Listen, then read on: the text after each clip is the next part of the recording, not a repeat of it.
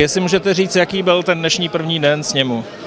Byl pracovní, zazněly nezbytné zprávy, slyšel jsem několik hezkých projevů, velmi se mi líbilo vystoupení pana doktora Niedermayera, vystoupení hostů bylo, bylo hezké. Myslím, že zaznělo skutečně celá řada inspirativních věd a výzev.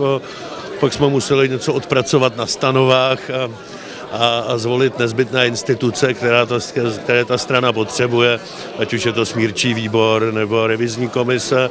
Diskuze proběhla, řekl bych, velmi kultivovaným způsobem.